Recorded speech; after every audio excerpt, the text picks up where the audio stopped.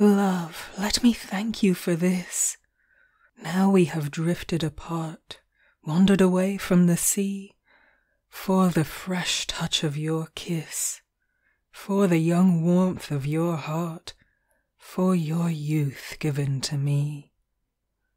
Thanks for the curls of your hair, Softer than silk to the hand, For the clear gaze of your eyes, For yourself, delicate, fair, Seen as you lay on the sand Under the violet skies. Thanks for the words that you said, Secretly, tenderly sweet, All through the tropical day, Till, when the sunset was red, I, who lay still at your feet, Felt my life ebbing away, Weary and worn with desire, Only yourself could console. Love, let me thank you for this, For that fierce fervour and fire Burnt through my lips to my soul From the white heat of your kiss.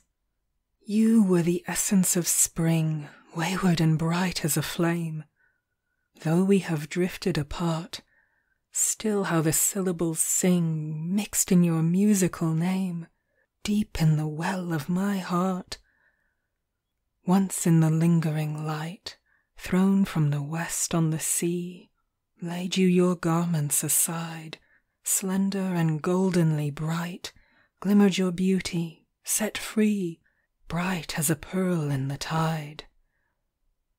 Once, ere the thrill of the dawn Silvered the edge of the sea, I, who lay watching you rest, Pale in the chill of the morn, Found you still dreaming of me, Still by love's fancies possessed.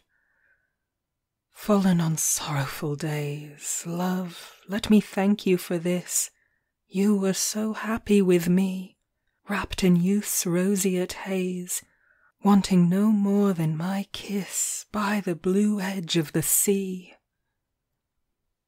Ah, for those nights on the sand Under the palms by the sea, For the strange dream of those days Spent in the passionate land, For your youth given to me, I am your debtor always. End of poem